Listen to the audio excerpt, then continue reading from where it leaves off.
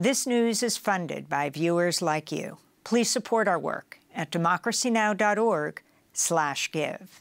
The head of Hamas's political wing, Ismail Haniyeh, has arrived in Cairo, Egypt for talks as hopes grow that a new deal could be reached for a ceasefire and the release of more hostages.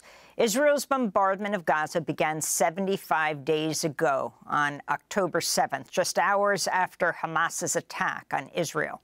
Health authorities in Gaza say at least 19,600 Palestinians have been killed so far. Thousands are feared to be still trapped under the rubble. Just before this broadcast, Israel struck residential buildings in the southern city of Rafah near the Kuwaiti Special Hospital. A reporter from Al Jazeera, Hani Mahmoud, was on the air when the attack occurred. As we're, we're getting into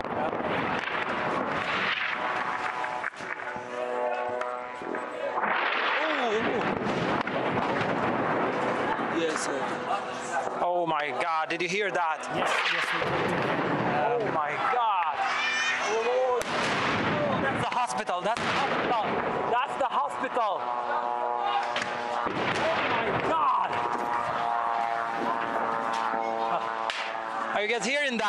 Yes, we are. We are hearing that, Hani. Are you? Are you you okay? Are you? Are you in a safe place to, to continue to talk to us? Why, why, Hani Mahmoud asks the Al Jazeera reporter. Al Jazeera reports the Israeli attack destroyed a large mosque in Rafah, as well as two residential homes. Israeli drones had been seen in the sky just before the strikes. Earlier, an Israeli attack on the Jabalia refugee camp killed at least 46 Palestinians and wounded dozens. The United Nations Security Council is expected to vote on a new Gaza resolution today. The vote was postponed Tuesday after the United States voiced opposition to a draft of the resolution. On December 8th, the United States vetoed a UN Security Council resolution calling for ceasefire. This all comes as tension is growing in the Red Sea.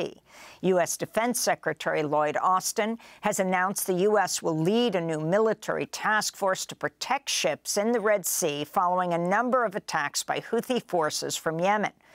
We're joined now by Rashid Khalidi, the Edward Said Professor of Modern Arab Studies at Columbia University here in New York. He's the author of several books, including his latest, The Hundred Years' War on Palestine. His recent opinion piece for the Los Angeles Times is headlined, How the U.S. Has Fueled Israel's Decades-Long War on Palestinians. Uh, Professor Khalidi, I'm wondering if you can start off by just talking about the situation overall in Gaza. Your family is from the West Bank. You also have family in Gaza. And I want to just point out that I particularly talked about, named the journalist with Al Jazeera, um, Hani Mahmoud, because it has been so horrifying to only name journalists after they have been killed, and so many scores of them have died. Hani Mahmoud's bravery is astounding as he wa we watch him through um, the uh, Gaza Strip, uh, and today, in the midst of this attack. Take it from there, Professor Khalidi.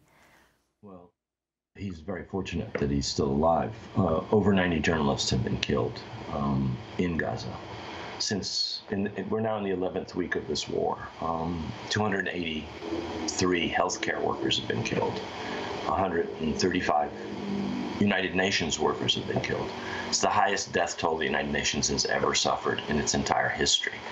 Um, and that's just a tip of the iceberg. Uh, you, you, cited a number of uh, 20,000 people earlier on, uh, have, apparently having been killed. Probably the number is much higher because there are so many thousands of people buried under the rubble or missing. And we will probably not know the, the, the final death toll uh, until many, many months from now when, when operations to, to remove the ruins of the buildings that have been destroyed are completed. Um, the situation in Gaza is unspeakable. Um, what we hear from my niece's family there is I, I, I, can't describe it. It's it's beyond belief. People are scrambling for the basic necessities of life and are sometimes not finding them. Uh, um, firewood to heat, uh, water and, and cook, um, enough water for everybody to have sufficient water to drink, let alone wash. Um, I, I, could go on. It, it is it is unspeakable. It is uh, intolerable. And the, the tragic thing about it is that this is clearly intended. Um, neither our government nor the Israeli government recognize the fact that what is happening there is causing this immiseration of over 2 million people. Um, and, and this could easily be stopped um, and should be stopped. Um, I, I, can't, I, can't, I can't understand how uh, this country can allow this to continue. Um, the idea that going after Hamas entails the destruction of more than half of the housing in Gaza. The idea that going after Hamas entails the wounding of 50,000 people and the killing of 20,000. It's just, it, it's incomprehensible to me um, that our governments can be so callous and can be so determined uh, not to separate itself from Israel as far as this basic, the basic nature of this war, which is really directed against the people of Gaza. Over 2 million people have been forced to leave their homes. This is the largest displacement in Palestinian history. Uh, the killing of 20,000 people, al- almost half of which are, of whom are children, um, is unprecedented in Palestinian history. So we are talking about traumatic events that are going to scar generations to come. And this doesn't seem to be a matter of concern to our government, let alone the government of Israel. Well, Professor Khalidi, uh, we've seen massive, unprecedented demonstrations uh, in support of the Palestinians throughout the world. Uh, um, the majority of governments in the General Assembly, overwhelming majority, have called for a ceasefire, yet the Security Council uh, continues to be a, a, roadblock, especially the United States. Could you talk about what this is doing to the legitimacy of the UN itself? Well, I think it's harming the United, United Nations, but I think it's also harming the uh, legitimacy of the United States position. Um, it's not the Security Council that's blocking action, it's the U.S. government that's blocking action. Uh, there was one abstention, 13 votes in favor last time that a ceasefire resolution was before the Security Council. And they spent three days trying to get a resolution which involves not a ceasefire, but a humanitarian pause. And the United States has been obstructing that, uh, as I've said, for three days. So I think this is going to harm not just the United Nations, because it's manifestly helpless in the face of this catastrophe. It's harming the United States. Um, there is overwhelming support the world over for ending this. There's overwhelming support, sympathy the world over for the Palestinians. There is, I would, I think the polls show very strong support, even in the United States, for uh, ending this war and at the very least for stopping um, what's going on so that humanitarian aid can get in. And the administration is clearly impervious uh, to all of this. Um, and, and I think our, the mainstream media, frankly, are complicit in this.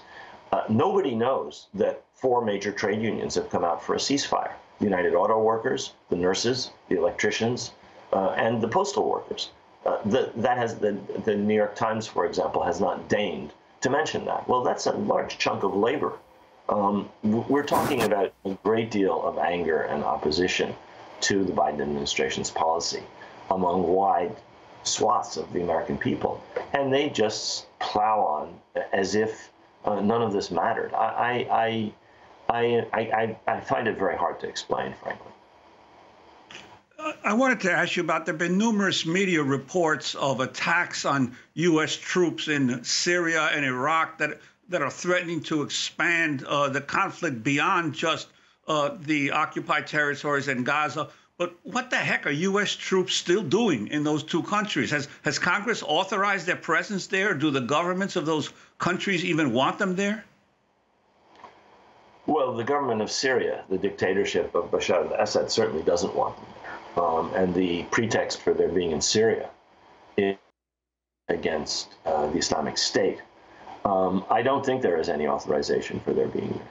The troops that are the troops that are in Iraq are supposedly engaged in training the Iraqi army, but there's a great deal of opposition in Iraq, even though the Iraqi government has has accepted their presence there. There's a great deal of opposition in the Iraqi parliament to the presence of U.S. forces in Iraq, and I think what we're seeing are, are, are attacks uh, whether from Yemen on shipping or, or firing missiles at Israel or attacks on U.S. troops in Iraq or in Syria, which are a response to what Israel is doing uh, in Gaza.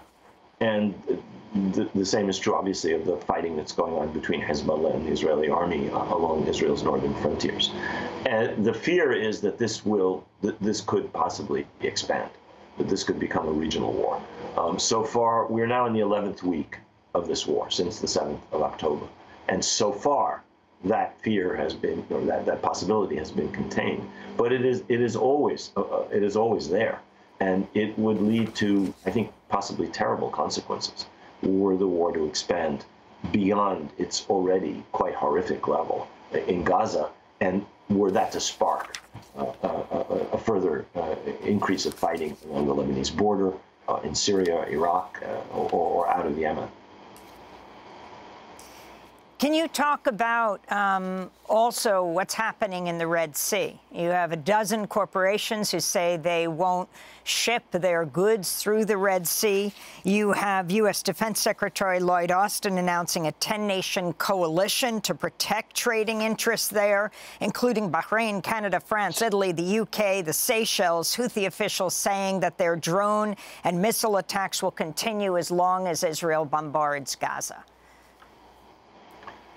there is enormous anger in the Arab world about what is happening in Gaza. Um, things that Americans uh, don't see or don't see enough of, the scenes of what is actually happening in Gaza, are being watched all over the Arab world and across much of the world.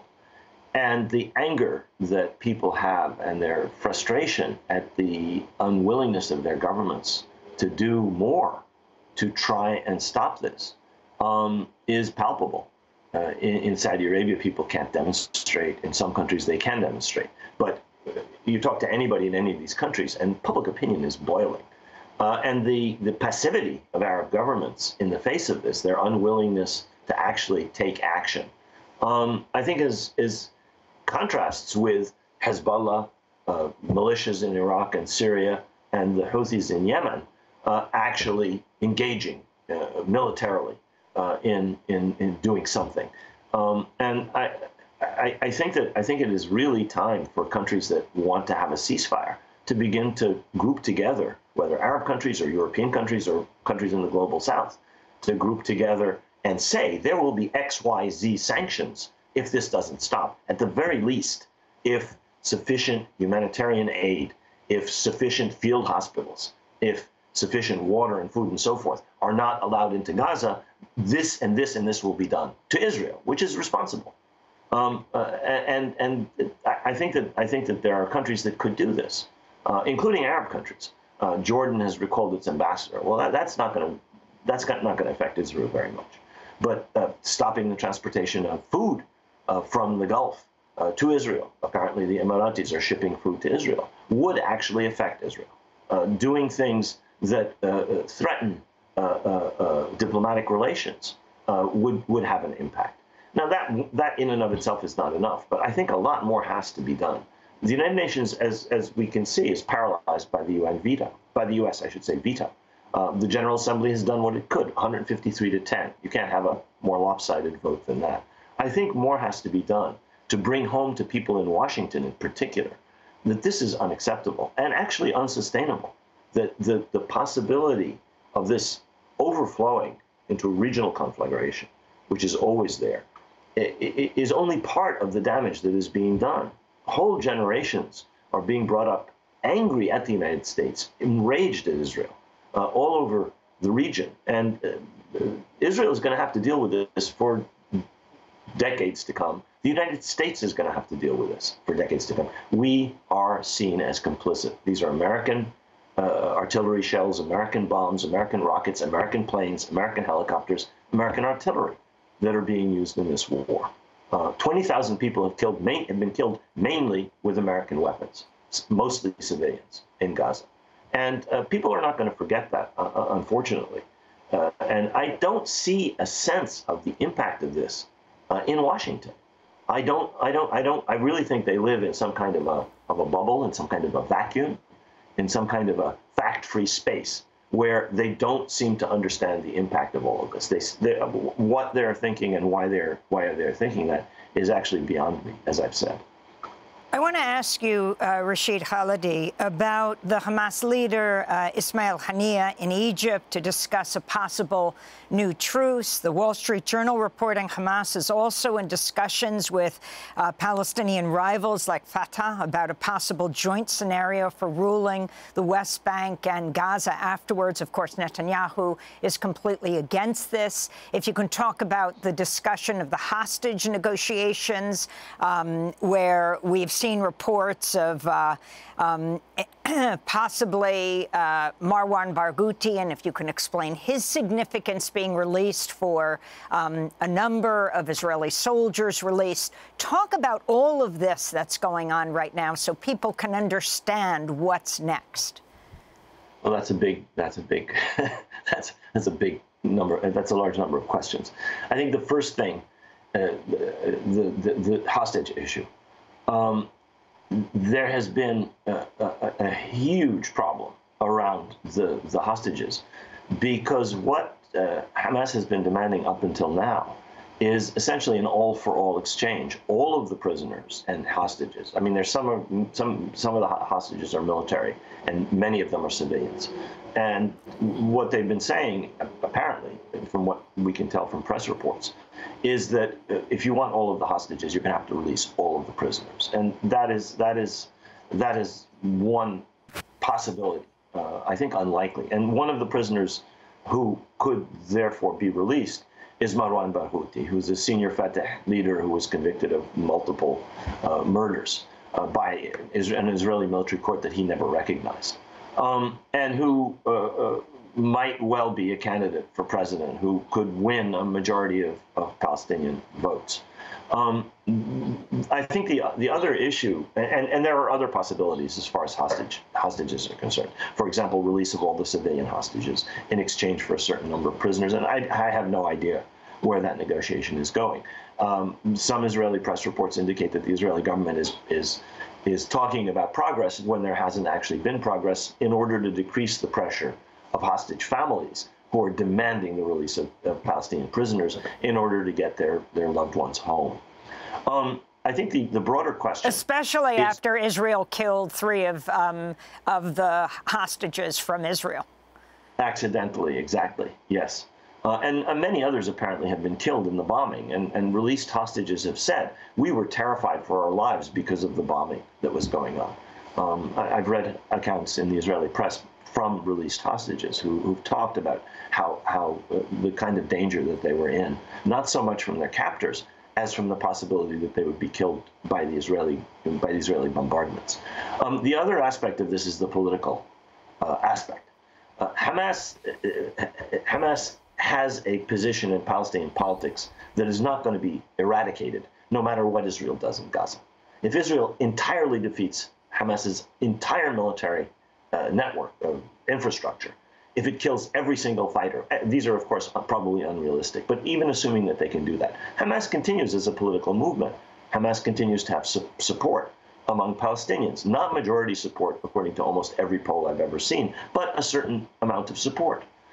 If there, when and if the Palestinians manage to put together a government. And, you know, everybody else is going to try and do it for them. The United States is going to try and impose its uh, uh, uh, intentions on them. The Israeli government will undoubtedly try and do the same, and the Europeans, in their colonial way, will probably try and do the same, telling the Palestinians what's good for them and telling them who they can have and not have in their government. But when and if the Palestinians can get their own act together and form some kind of, for example, reformed PLO, um, there is no way to exclude Hamas from that this idea that Hamas, because of what it did on October 7th, is completely excluded from Palestinian governance is a fantasy, an Israeli American European fantasy.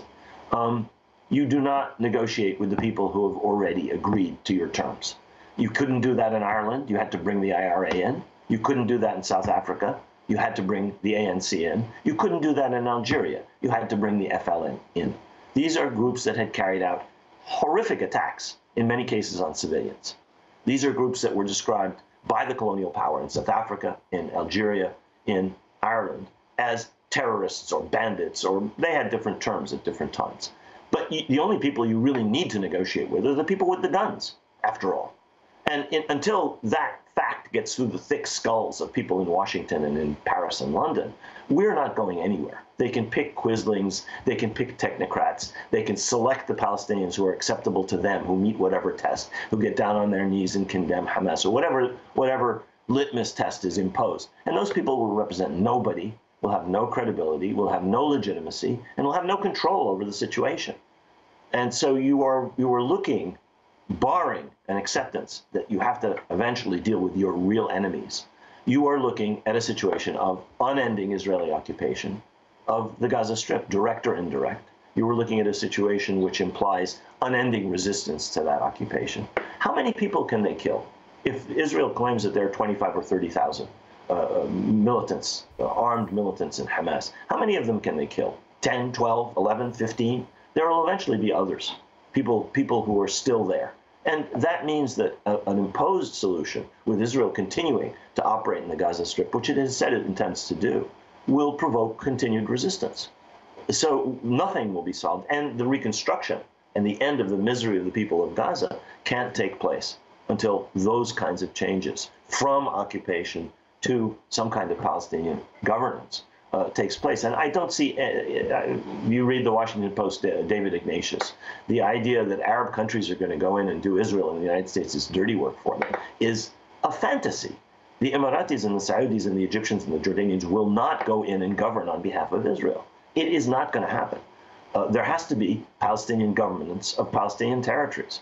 And that is going to have to, one way or another, involve all the groups within the Palestinian political spectrum. The Palestinians have been divided by their own, you know, but for reasons that have to do with Palestinian dysfunction, but they've also been divided by the divide and rule policies of the United States, Israel, and the Europeans. As long as that continues, this festering sore will continue. And there will be violence. And it will not only be violence caused by hard men in Hamas, it will be violence caused by the horrors visited on the Palestinians by 56 years of occupation by 75 years of colonialism, and the fact that people inevitably, necessarily resist occupation. Um, you have to, they, they have to come to terms sooner or later with the fact in Washington and in Israel with the fact that Palestinian governance is a matter to be decided by Palestinians. Um, and that is simply not in the mindset if you read what comes out of Washington or what comes out of Israel, of, of our, our government or Israeli government or many European governments. Uh, Professor, we only have a, a, a, couple of minutes left, but I wanted to ask you uh, you've said that there's an unquestionable connection of Judaism and the Jewish people to the Holy Land, and yet that Israel, the Israeli state, is a settler colonial project. And in your LA Times piece recently, you called it the assault on Gaza the last colonial war of the modern age. Could you elaborate? Right. Sure. Um, I mean, this goes back to the nature of Zionism. Zionism is a, a, a, national project, which distinguishes it from every other settler colonial movement project. But at the same time, it was a self-identified colonial project. I mean, uh, the, the, Jewish Colonization Agency, the Palestinian Jewish Colonization Agency, is the term that that, that organization, which existed until 1958, uh, applied to itself um, that was something that was accepted by early Zionist leaders. They they they argued they had a claim to the Holy Land. There's a connection of the Jewish people to the to the land of Israel. All of this is true. That, that, that there is such an attachment and such a connection. But Zionism is a European colonial project backed by imperialism, British imperialism, and uh, which intended to replace an indigenous population with a Jewish population. Uh, as as uh, Zev Jabotinsky said, we want to transform Palestine into the land of Israel. And that meant a demographic transformation. And that meant uh, dispossession of the population and theft of their land, as happens in every settler colonial uh, uh, scenario. So Israel is both the result of a national project, Zionism, and the result of a settler colonial project. There's no, there's no, you can walk and chew gum at the same time. There's actually no contradiction between it. And it's unique in that it was not just an extension of a mother country's population and sovereignty. It had its own independent ambitions to establish a Jewish state, not a British state. Came in under the protection of Britain, but it had its own aims. separate, independent aims. So it's a unique, it's a unique uh, phenomenon in, in, in the modern world. And it learned everything it did from the British.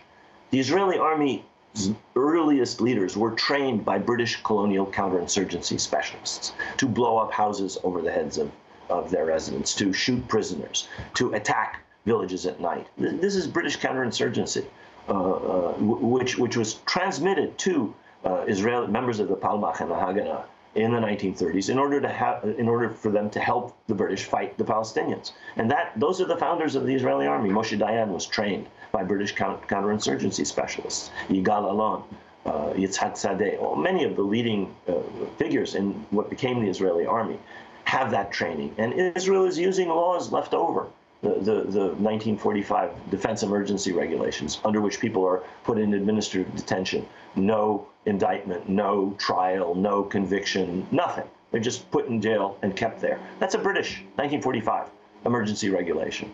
That's a typical colonial instrument. So this is a colonial war uh, fought in order to maintain the supremacy of this group, which has taken the country over, at the expense of the indigenous, indigenous Palestinian population. Um, the connection of the Jewish people to the land of Israel is, in my view, incontrovertible. Um, but that in and of itself doesn't justify the colonial methods uh, that have been used in the establishment and the maintenance of Israel's supremacy over now the entirety of Palestine, from the river to the sea. Rashid Khalidi, uh, Edward Said, professor of modern Arab studies at Columbia University, author of a number of books, including The Hundred Years' War on Palestine. We'll link to your opinion piece for the LA Times, headlined How the U.S. Has Fueled Israel's Decades Long War on Palestinians. Democracy Now! is funded by viewers like you. Please give today at democracynow.org/give.